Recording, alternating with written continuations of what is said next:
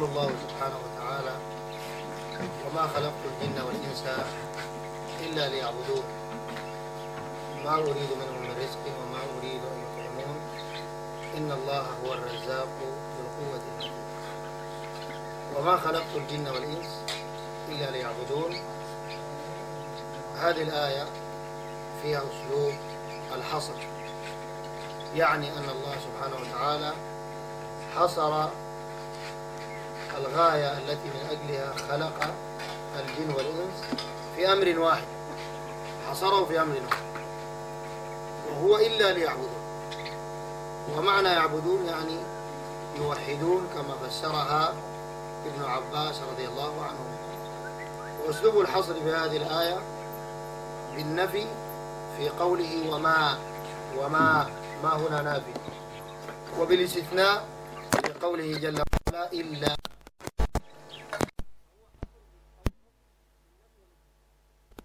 قال الشيخ العثيمين والحصر بأداتي النفي والاستثناء هو أقوى أسلوب في الحصر. أقوى أسلوب. وهذا فيه زيادة تأكيد على أن الغاية الكبرى والعظمى والوحيدة التي خلقنا الله من أجلها هي إلا ليعبدون يعني يوحدون ثانيا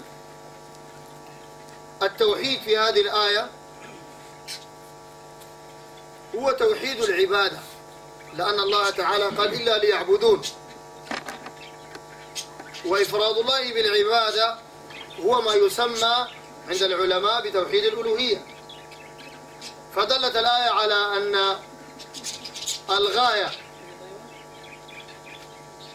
الغاية من جميع أنواع التوحيد هي توحيد العبادة.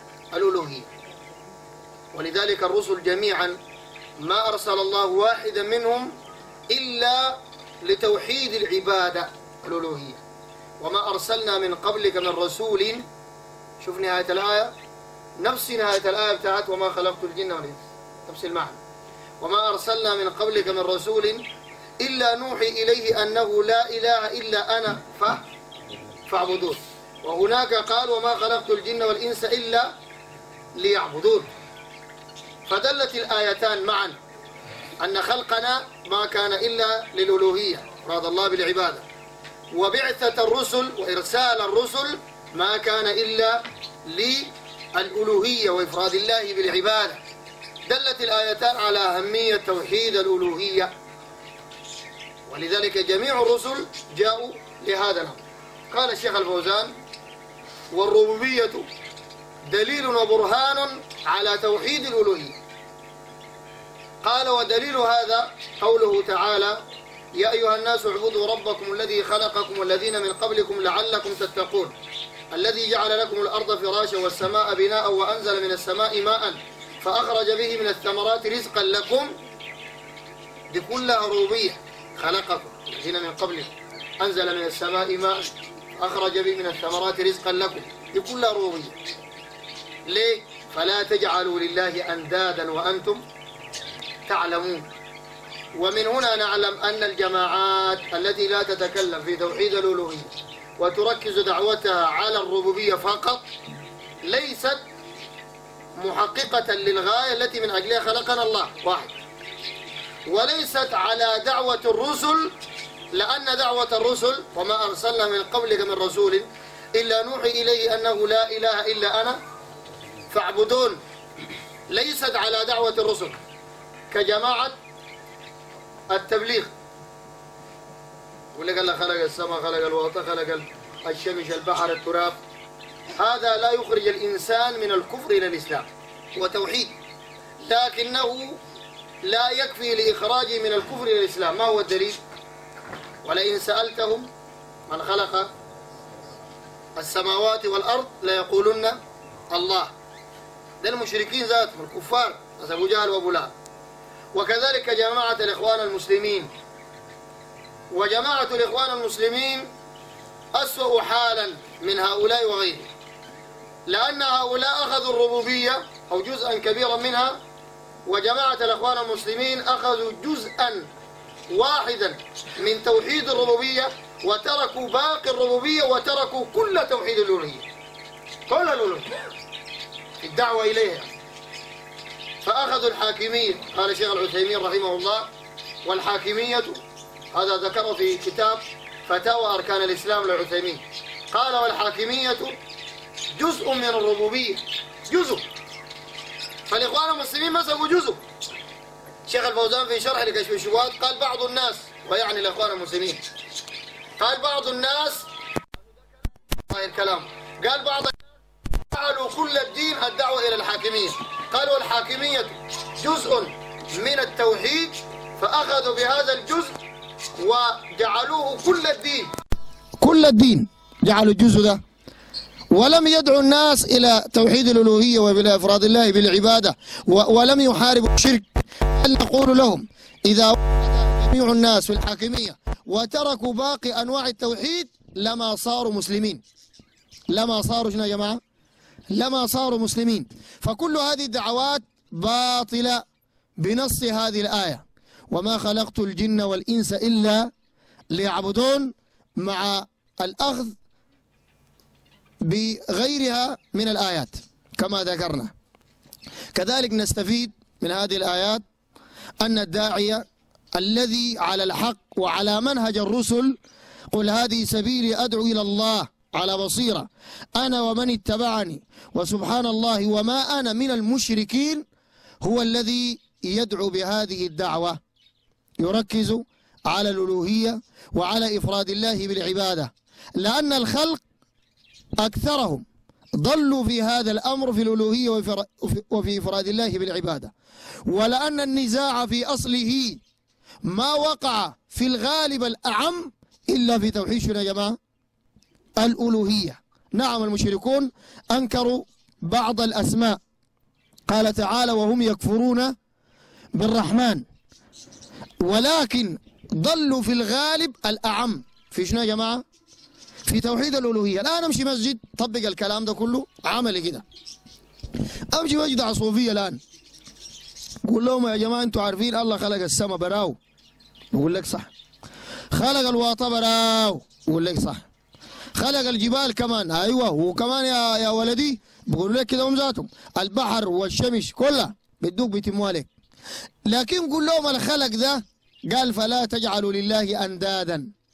وأنتم تعلمون. وبعد ذاك شرح لهم الأنداد دي المنو وكيف يكون الأنداد؟ وكيف يكون اتخاذ الأنداد؟ دعاء غير الله. دعاء الأولياء. دعاء حتى لو ما سميت لهم مشايخهم. دعاء الصالحين. ده اتخاذ أنداد ولا ما اتخاذ أنداد؟ المشكلة بتقوم طوالي. ليه؟ لأنه أنت هبشت الجرح والمشكلة كانت هنا يا جماعة. في ناس والله في بيقولوا إحنا سلفيين. ودي كمان مصيبة. ديل فاتوا الإخوان المسلمين وفاتوا جماعة التبليغ. يقول إحنا سلفيين. خلاص؟ لا مسكوا ربوبية ولا ألوهية ولا أسماء وصفات. بيتكلموا الناس في الرقائق بس. ده خير منه؟ التبليغي. والله يجد. تبليغي بيه سجموا ورمادوا في النهاية ماسك في الربوبية. في ناس خلوا توحيد الربوبية ذاته. وخلوا الدعوة إلى توحيد الألوهية ذاته. ولا الأسماء والصفات. دول شغالين بس تزكية. زي الأهبل اللي اسمه محمد حسين يعقوب ذاك. جابوه هسه جايبينه انصار السنة ثاني للمرة المليون بعد علمهم. المؤكد. علم اليقين. وعين اليقين إنه الزول ده طلع على الحاكم وركب في السيريج فوق. ولا ما طلع؟ طلع طلع فوق السيريج كمان. في ولا حاجة عالية كده ما عارف. هو معاه ذاك محمد حسان. طلع فوق. شوف ربنا طلعهم فوق. عشان أي زول منكر إنه نازل خوارج يشوفهم فوق حتى ما تحي ذاته. لأنه تحدم يقول لك ما هو بيشبهه. طلع فوق. وحبوكوا في الله. تحبون أنت؟ ده الخوارج تحبهم كيف؟ خلاص. فجايبينه تاني. ده ما عنده علاقه أصلا ولا توحيد ذاته. بس كلام كله كلام فارغ وكلام عجيب جدا. خلاص. وكلام أصلا باطل ذاته. هذا الرجل المجرم الافاك الأثيم. فالشعب يكون فاهم يا جماعة. الدعوة هنا. وقع في النزاع زي ما قال الشيخ محمد الوهاب. قال قال لأن الألوهية هي التي وقع فيها النزاع. ده ده محل المشاكل. ده دعوة الرسل. في أنبياء نشرهم بالمنشار. منشار عديد كده. منشار لحد ما ماتوا. أنبياء قتلوهم. بنو إسرائيل دول قتلوا كم نبي؟ قتلوا أم- اليهود قتلوا كم نبي؟ قتلوا أنبياء كثيرين. ليه؟ للدعوة دي يا جماعة. إلى توحيد الله عز وجل. لأنه ربنا قال ولقد بعثنا في كل أمة رسولا أن اعبدوا الله واجتنبوا الطاغوت. خلاصة كلامي في دقيقة واحدة. المطلوب مننا شنو؟ المطلوب إنه نحمل الدعوة دي دعوة التوحيد. وتركز أكثر. ما بنقول تخلي ذاك. باقي التوحيد لا. لكن تركز أكثر لأنه ده فيه المشكلة الآن. خلاص؟ وده محل الجرح بتاع الناس. تركز أكثر في توحيد الألوهية. تكلمهم إنه غير الله ما بيعلم الغيب. غير الله ما بدي الجنة. خلاص؟ وإن كان ده, ربوبية ذاته الجنة. كذلك غير ربنا سبحانه وتعالى ما يدعى ما يتوكل عليه وما يستغاث. حتى لو بقى ولي يقول لهم لو بقى النبي ذاته ما يجوز يدعو من دون الله. الرجل ده قال ما شاء الله وشئت يا محمد بس الكلمة دي. قال جعلتني لله ندا قل ما شاء الله وحده. فالمساجد دي كلها محتاجة الكلام ده بيوتنا كلها محتاجة الكلام ده. الشوارع دي كلها المؤسسات الحكومية والخاصة والشركات والمصانع والمدارس والجامعات والمعاهد العليا والوسطى والصورة كلها محتاجة للكلام.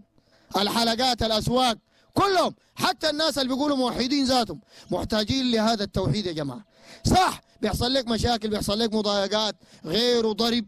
هسه في واحد أخونا في مضريوة في الدروشاب حكى له أخونا امبارح واحد تكلم واحد صوفي قام أصل للشرك بالله. حدير كده. أخونا ده قام رد عليه جزاه الله خير وحفظه الله. ضربوه الجامع كله ضربه. راسه ده مش خيطه له كله. امبارح حكى لي أخونا من أخواننا المعروفين بس أنا نسيت- اسمه. فده ده طريق الرسل يا جماعة. اوعى تمشي تتلولو. ده الموضوع. خليه دقوق. خليه دقوق. وما تسمع كلام الناس المخزلين والمثبطين اللي يقول لك لا وما واجب وما عارف وما تذكر اسمه. ده كله كلام باطل. حنبينه بكرة إن شاء الله. في في البلد دي هنا. منها موضوع القنوات اللي كان المايكات بتاعتها ظهرت في في المحاضرة بتاعت داعش. وبعض الناس برضو يتكلموا أو بعض المآخذ يعتبروها كلام المشايخ في بعض الحواري عبد الرحمن حامد وخالد عبد اللطيف وحمد الأمين إسماعيل. فلسه في يعني غبش الصورة ما واضحة بعض الناس المعلومة ما وصلتهم كاملة. فالشيخ إن شاء الله يوضح ال- ضلال الجماعة ديل. والشبهه بتاعت القنوات اللي ظهرت في في في المحاضرة.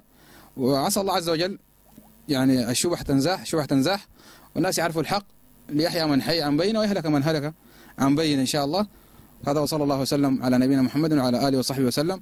بعض الشباب دعيناهم منا من إخواننا لكن ما ما جو بعض الشباب. هاي وبعد برضو التعامل مع أهل البدع برضو فيه إشكال هنا. لابد الشيخ إن شاء الله يوضح لنا وجزاه الله خير. السلام عليكم. الحمد لله والصلاة والسلام على رسول الله وعلى آله وصحبه ومن والاه. مسألة الماء المايكات أو في مايك أو قالوا مايكين ما بعرفوا. بتاعت شيعة جات في المحاضرة بتاعتنا أنا ما شفتها والله. لليلة ما شفتها. لكن أخبرت بهذا الأمر ثاني يوم من المحاضرة. يعني بكرية المحاضرة. ما عارفين يعني. يكون إحنا تعاوننا مع أهل البدع كيف؟ أو تعاوننا مع الشيعة كيف؟ ما عارفين أصلا. حاجة ما عارفين. وما عرفنا إلا ثاني يوم. وبعدين عرفوا ثالث يوم. ولو عرفناهم في وقتهم ما كان خليناهم. بس. في شنو يعني؟ وين وين التعاون مع البدع؟ ما في أي حاجة. هنا كنا مهمومين ونتكلم عن داعش وشنو تنظيم المحاضرة وجوطة ما شايفين مايك شيعة ولا مايك غيره. بس ده الموضوع يعني. أما الناس اللي أنكروا علينا هم ذاتهم هم ذاتهم في النهاية بيتعاونوا مع الشيعة. كان الهواري وأتباع محمد الامين إسماعيل وغيره دي أصلا بيزكوا سيد قطب. سيد قطب ده شنو؟ بيلعب في المريخ. ده ما شيعي. شيعي. شيخ ربيع قال ما من بدعة. ما من بدعة إلا وجمعها سيد قطب. بدع اليهود بدع النصارى. والله يجد بدع الحلولية والاتحادية الصوفية. بدع الخوارج. بدع الشيعة الرافضة. ما وقال الإسلام مزيج من الشيوعية والاشتراكية والنصرانية وشنو ما عارف ما من بدعة على وجه الأرض فيما نعلم كبيرة إلا جمعها سيد قطب هذا المزبلة والزبالة للبدع. وديل كلهم أتباع سيد قطب. هواري محمد الأمين إسماعيل مين مين مين. ديل أتباع سيد قطب. وسيد قطب يسب الصحابة. ولا ما قاعد يسبهم. يسب الأنبياء عديل والرسل عديل من أولي العزم الخمسة من الرسل. ما سب موسى عليه السلام. ما قال عصبي المزاج. الهواري ما جت لولو هذا الملولو. وجا قال ده قال ده ده ما سب. ما سب كيف يعني؟ كيف يعني ما سب؟ ونحن قلنا الهواري لما الطالبات قال سبيتوني. لما سيد قطب يقول موسى عليه السلام عصبي المزاج ومتعجل. هواري يقول ده ما سب؟ يعني هو مكانته مقدمة على موسى عليه السلام؟ فده ده ده, ده زول مجرم زول لا يفقه شيء أصلا في الإسلام. لكن رفع الناس واطين أصلا. عشان كده رفعوه فوقهم لأنهم أصلا واطين.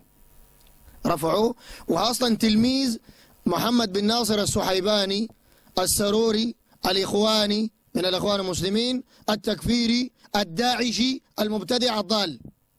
تلميذ الهواري وجابوا من هناك؟ لحد مسجد المزاد. جابوا الهواري ده ذاته؟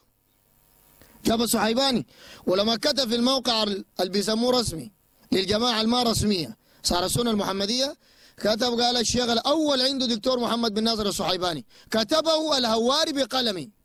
هذا يحلوها كيف؟ ودول كلهم اتباع سيد قطب الصحيباني ذاته اتباع سيد قطب وسيد قطب ده شيعي. شيعي خبيث رافضي أخو مسلم. أي حاجة صوفي أي بدعة في رأسك يا هو سيد قطب والله العظيم جد. فده ده الحاصل يا جماعة. كيف نحن ومحمد مصطفى عبد القادر ده ما يعتقد عقيدة الشيعة؟ كيف تقولوا كده؟ الفوزان قال. يعني قلنا؟ فوزان قال ولا ما قال؟ قال. ده ما زول يعتقد عقيدة الرافضة محمد مصطفى عبد القادر. يسب الصحابه يقول ناس علي بن أبي طالب ومعاذ بن سفيان ما ديل الصحابة اللي بيتكلم عنهم ولا ما بيتكلم عن غير هم ديل؟ والمعاهم قال ديل اقتتلوا بالسلطه وبعضهم كان عندهم حظ من الدنيا. ده كلام؟ ده ما عقيدة الشيعة؟ يعني ميكروفون جابوه ما شفناه ذاته. يعيبوا علينا؟ ولا شفنا ذاته. خلاص فده الحاصل يعني. ثاني قلت؟ نعم لأنه في تصوير. آه، مسألة ال- آه، مسألة القنوات الشيعية مردودة. أول شيء في قناة منار. دي معروفة تابعة لحزب الله. وقناة تانية اسمها الفرات. أنا متابع شغل لها أي خطاب للرئيس في قاعة الصداقة في الولايات.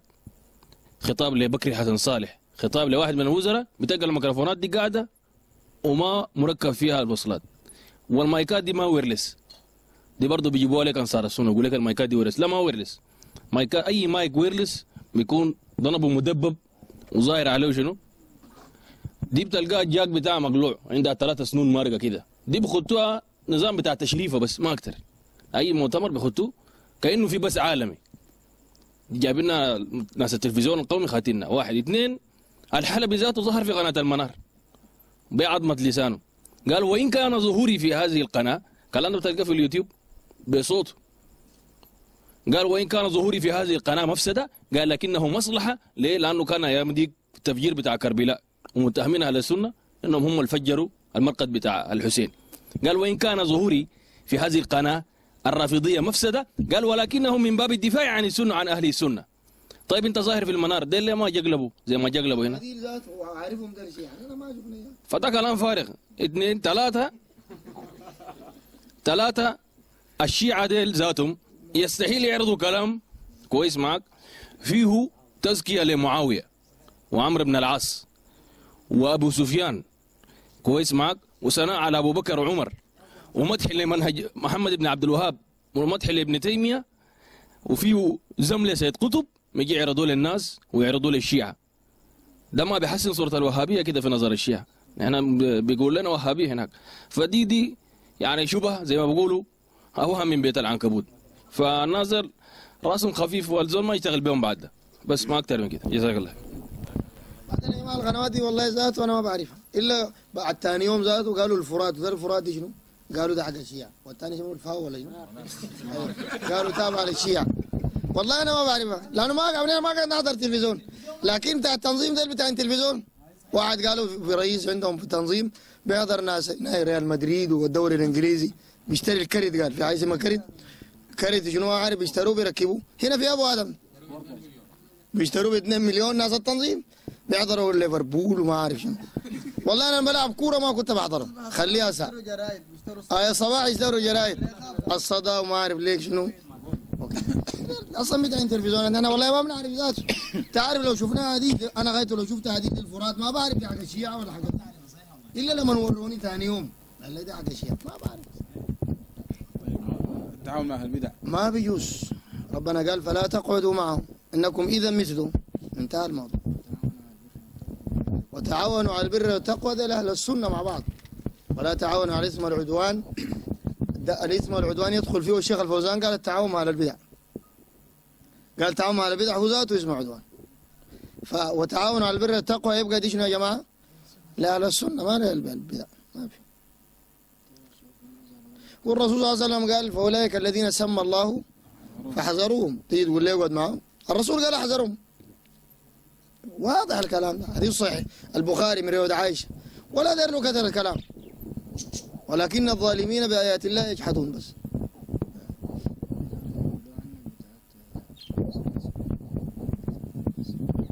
المسألة بتاعت كتل الملف أنا كنت بحكي زواج الرسول عليه قلت بعد ما عقد بعد ما تزوج خديجة قلت بنى بها قال الصحابة أمشوا كتل الملف. صفية أقصد. يعني مشى كده من ال... من ال... بعد ما قال الجيش أمشوا مشى ناحية. أي. فبعد ذاك اعتذرنا قلنا الكلمة دي كلمة سوقية ما تليق بالنبي صلى الله عليه وسلم وهذا خطأ منا وكذا وكذا وكذا ولما اعتذرت فجد لي عن مصاد القادر كان الوقت ذاك شيخنا وكذا شاكلني قال لي أنت تتوب ساكت كلمة دي قال لي ما كلمة معروفة أنت تتوب ساكت قال لي شاورني أنت؟ يا توب هنا؟ والله زي ده. أنت كنت قاعد أبو بكر أبو بكر قاعد في الصيلون بتاعه السخ- السخن ذاك فقاعدين قال كده. فده الحاصل. لما لما اختلفنا معه قال كافر.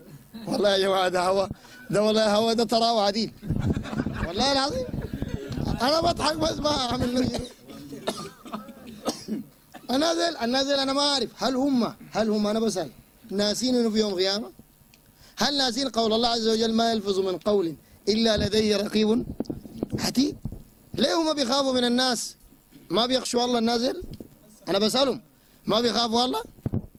يعني ناس مجرمين اجرام عجيب خلاص. والهواري ده بنمشي له أنا وبكر في البيت نقعد معه ليه واحدة بالليل كان؟ قال إنه شيخ يدق الوقت الرد والله العظيم. دعاتنا ديل ما طالما بيدعاونوا على البدع. السروريه ديل؟ عشر سنة لقدام ما حيفضل سنة واحدة في السودان. مش غيب؟ أنا احلف عليه قسم بس بجاي بس غفلنا كده. عمل مؤتمر من بحيره قال الأصل هو التعاون على البدع. يعني هذه يعملوها كيف؟ وطفى جاب الحلبي من الأردن. أول حاجة مشى الهواري هناك. مشى الهواري هناك. يتعاون معاه. وقلعوا جابوا من هناك لهنا. وجابوا يعقوب حسين يعقوب وحسان ولا عريفي ومنو ترى برهامي. برهامي. وشومان ذاك المصارع ذاك جابوا برضه.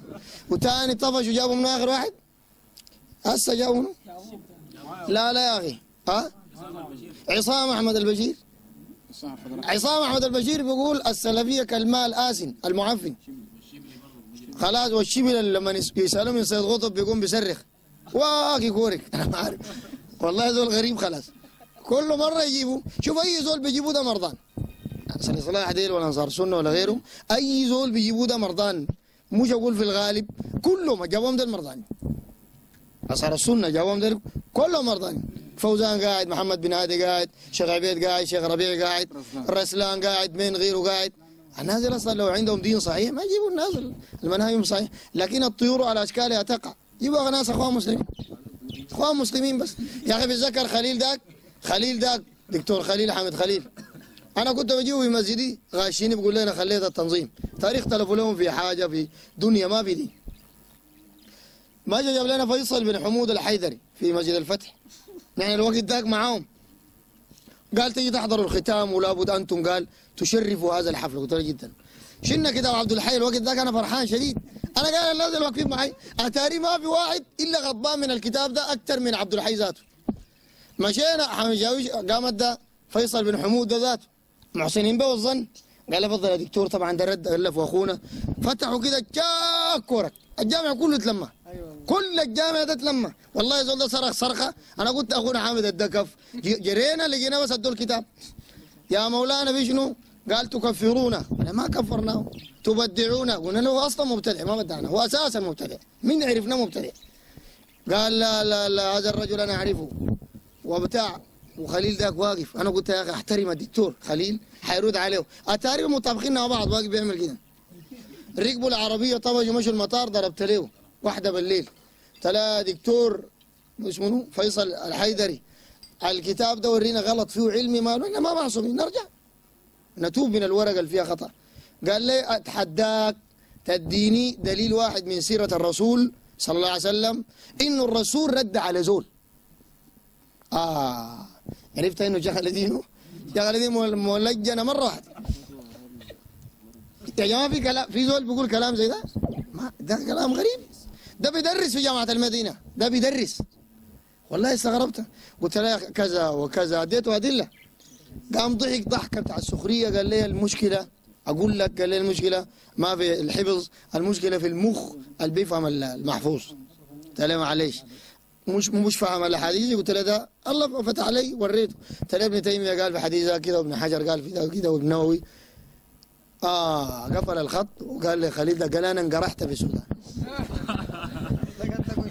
هاي كان قاعد شوية عشان اقطع لك اثنينك دي فزول المجرم ساكت كل مره يجيبوا لنا مجرم بس يلبسوه بتاع يقعد يدنقل راسه كده يقول لنا ده عالم ما عالم ده ما عالم ده ضارب رز وجاي هنا ما عنده اي علامه ما ما العلماء بنعرفهم نحن الفوزان اللي حيدان شيخ ربيع محمد بن هادي ديل ده عليك ساكت جايبينهم من وين ديل فديل بيجيبوا ديل زول يكون عنده قروش انت قايل شنو؟ زول بالسعوديه يقول لك فضيلة العلامة شكر الشهواني انت سمعت زول اسمه شهواني وله نصيب من اسمه فجابوه من هناك طابشين بيه قالوا عالم. زول بس يكون رجل أعمال عنده كم مليون ريال يقول لك العالم. ما عالم يا أخي ده عنده قروش.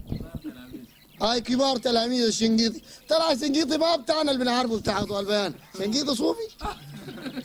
نحن قايلين الشنقيطي ذاك وهم يورونا. يا جماعة الشنقيطي ده شنقيطي أضواء البيان ساكتين. يا شيخ خليل ده ذاك. تعالوا تعالوا. ده وفي النهايه عرفنا ده الصوفي ما ما العالم. فالناس زي الناس منتهين يا أخي الله يهديك. ما يفكوا لكم شبهات. وما في زول بيفكوا له شبهات إلا لأنه هو بيجالسهم. مجرد ما أخونا ده قال لي فكوا كده فكوا كده. معناته فيكم ناس بيجالسوا الناس زي تجالسهم ليه؟ ناس لا بيدعوا للتوحيد. مش ما بيدعوا للتوحيد بيشاكلوا الناس اللي بيدعوا للتوحيد. ولا ما كده؟ العدسي ومين شيل, شيل كتاب البرعي الآن اتحداك. شفت كتاب البرعي ده؟ أكبر اختبار لأنصار السنة. والله العظيم. عبد الحي ده حار شديد ما بيقدر يقرب جنبه خليه. ده بيجيب الدعم يخليه البرعي ده الهلك ده شيل كتابه. اللون أزرق ده الكتاب اللون أزرق شيلوا لف مساجد أنصار السنة من المركز العام. أجيب هناك الحمد لله والصلاة والسلام على رسول الله. الآن نبين شركيات البرعي. شوف بيتم الكلمة دي. آمش مسجد الصفوجيه ذاته. جماعة بتاعنا حسن حامد مختار بدري وجماعة دي ما يخلوك تتكلم. ما يخلوك تتكلم. آمش أي جامع؟ تكلم عن ضلاله البرع عن شركيات. خلى أي موضوع لا يعقوب لا غيره. بس الموضوع ده.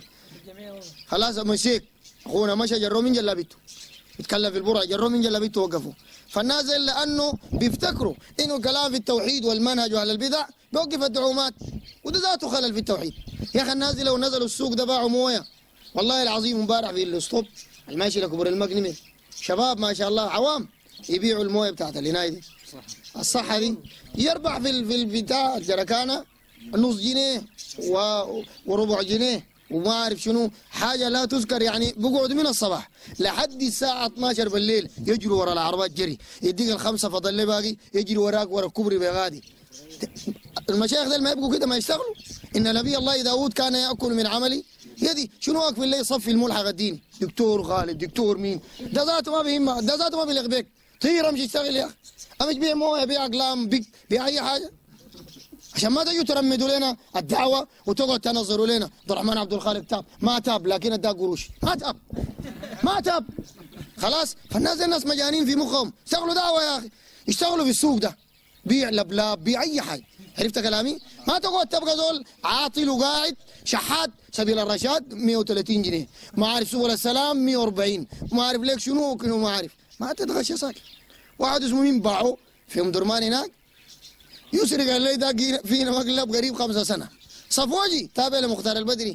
في النهاية قال لي بعد خمسة سنة. يعزمهم قال جداد وباص يحلوا. قال لي لما بينا نكشف فيه اتقلبت لبوش. والله العظيم قال لي بعد شوية لقيناه أصلا شغال في عيادة تراث له تسعة سنة. صفوجي. وديل اللي عاملين فيها كان قال بينكروا على أهل البدع غرقانين ليه اثنين فده كله بيسوى القروش. شوف تضيع الناس دي كلها. دكتور دكتور prof دكتور prof. الكاش. اشتغلوا يا ناس أنتوا ذاتكم.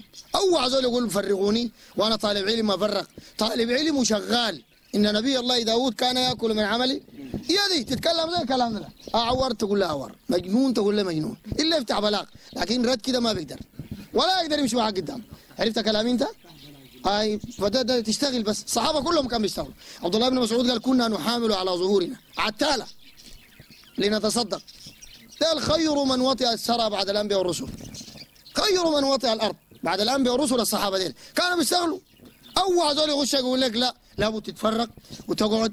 وشفت اللي بيفرقوك ديل؟ 99% منهم مبتدع ومجرمين. إما قروش جايبينها من حياة أو زي قروش جمعية الكتاب والسنة جايبينها جايبينها من دار البر. وده موثق عندي. والله موثق. من جوا كل جبر أنا موثقه جمعية دار البر الحزبية السرورية عرفت كلامي؟ ما تتخدع ساكت. اشتغل اشتغل. شفت الوقت اللي بتلقاه دقيقتين. قول فيها كلمتين في التوحيد وابقى مارك وامشي اشتغل بعرقك كده تتعب لما عينك تطلع.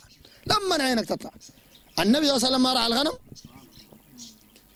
قال رعيته على قراريط لأهل مكة. قراريط حديث البخاري. يرعى الغنم وأكثر الرعي داير صبر بالمناسبة هاي الغنم لو أنت أصلا عارف المعلومة دي. الرسول رعى. وما من نبي إلا وراء الغنم. إلا وراء الغنم. عشان تكون عزيز شوف نبي الله سليمان لما بلغيس رسلت له هدية قال أتمدونني بمال؟ فما آتاني الله خير مما آتاكم. مش كده؟ قال ارجع إليهم فلنأتينهم بجنود لا قبل لهم بها. شفت القوة والعزة دي كيف؟ عزة منع زول فالزول يكون عزيز. عز المؤمن استغناه عن الناس وشرفه قيامه بالليل. فزول يكون عزيز أوعك تبقى زي المشايخ والدكاترة ديل. من منظمة لمنظمة راكب عربية منظمة ومنظمة. ما بتقدر تقول الحق. انت قالوا ما عارفين الحق؟ جالسوا شيخ ربيع وجالسوا منو جالسوا منو؟ وجو هنا ترزعوا ابى يقولوا الحق. بل بقى يقولوا الباطل. ويأصلوا أهل البدع من أجل المرتبات. خليك عزيز. 200 جنيه الله اداك لها في 60 يوم. ده رزق الله لك الحمد لله رب العالمين. تتكلم في أهل البدع. ابى يقول بسنة.